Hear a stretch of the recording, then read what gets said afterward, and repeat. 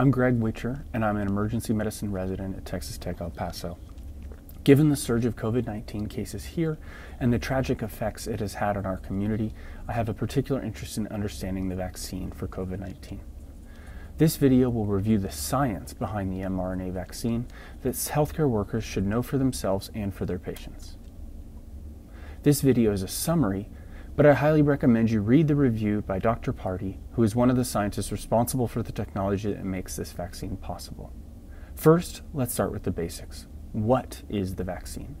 Given it's the holidays, I'll make this into a simple metaphor. The mRNA vaccine is two essential parts. The delivery vehicle is the lipid nanoparticle. The gift is the mRNA contained within. What are the advantages of an mRNA vaccine? You'll recall that live and attenuated vaccines are not recommended for patients who are immunocompromised.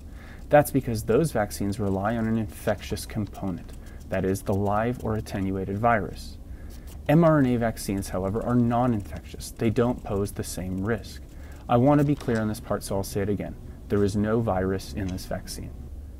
The next reason mRNA vaccines are safe is that mRNA is non integrating. This is a really important point because some people have concerns that mRNA of this vaccine will incorporate into our genome and pose a long term threat.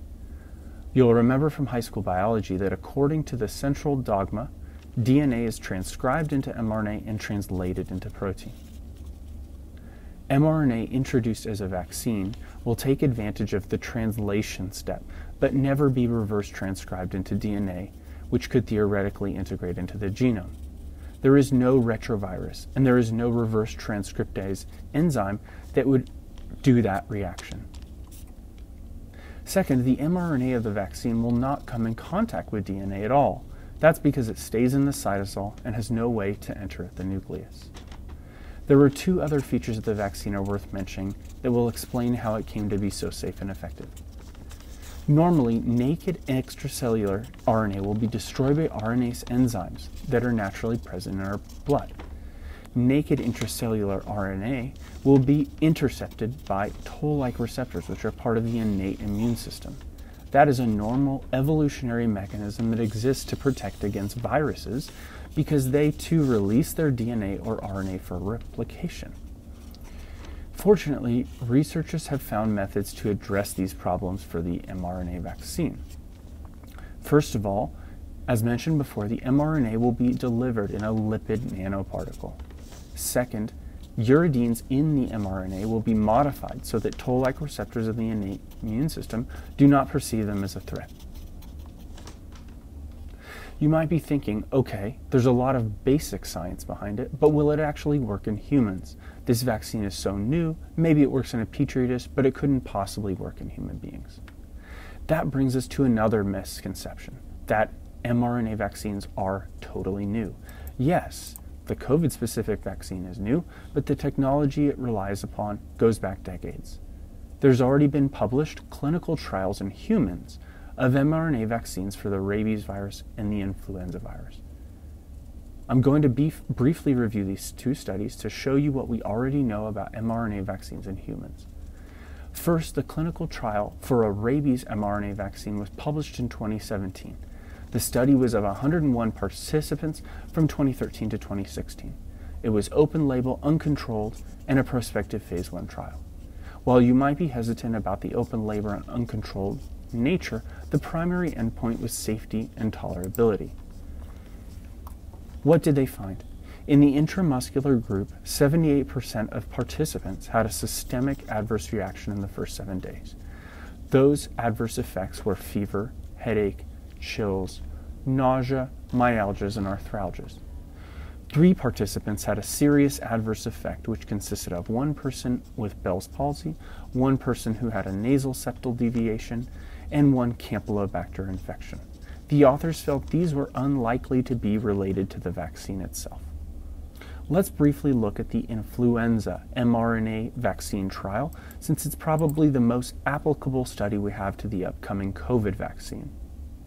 The trial of an mRNA vaccine for influenza viruses was published in 2019 by Moderna.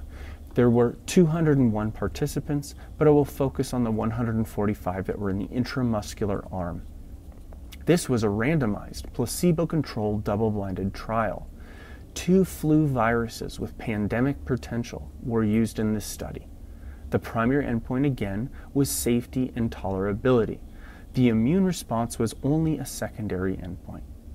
Again, the adverse effects were divided into two groups that is, the solicited and the unsolicited. In the solicited group, patients were asked if they had pain or swelling at the injection site, redness, headache, fatigue, myalgias, arthralgias, nausea, or fever. Myalgia, fatigue, and headache are the most common solicited adverse effects in the study. More than 50% in one arm and more than 25% in another arm had these flu like symptoms. Given this finding in both trials, I think it's likely we will see flu like side effects in our patients who have the COVID 19 vaccine.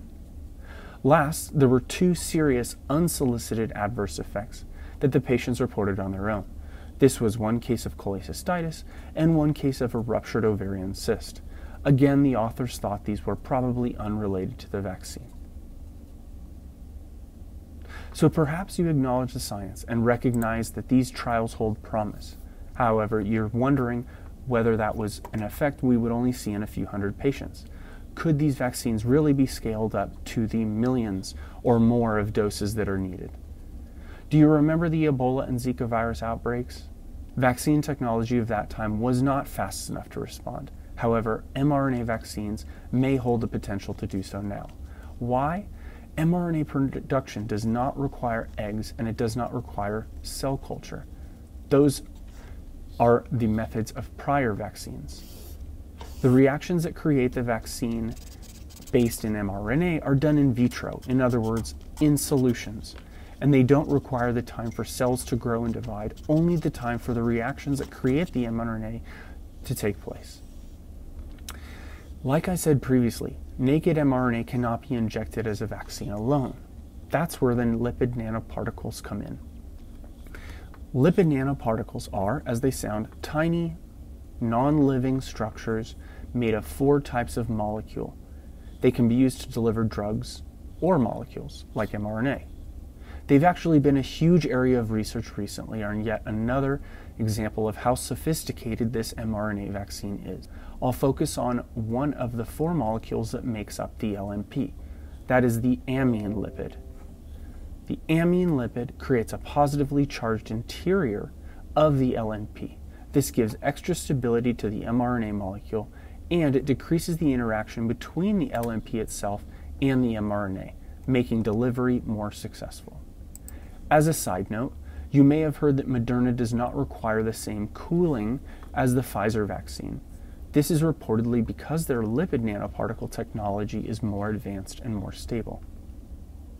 Surely all these scientific details are not relevant to everyday clinical practice, but I included them because they demonstrate how carefully designed this vaccine really is. So finally, that brings us to the science underlying the vaccine's effect. Like other vaccines, mRNA vaccines rely on active immunity.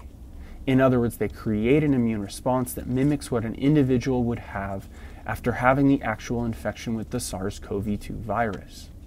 So that means the antigen that is created from the mRNA in the vaccine will be presented to our lymphocytes or white blood cells.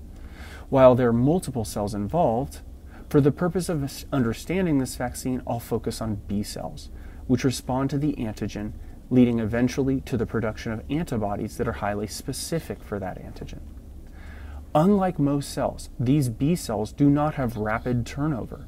Instead, they last in the body for many years, which brings us to the concept of immunological memory. The final product of this immune response to the COVID vaccine is not only the presence of antibodies circulating in the blood, but also memory B cells, which impart lasting protection because they can respond rapidly with antibody should that antigen ever be encountered again. It follows then that to know how effective the vaccine is, researchers in each trial are checking the amount of antibody created by the vaccine and how that compares to the antibody in a person who actually had COVID. You could also state this as how does the amount of antibody created by the vaccine compare to convalescent plasma?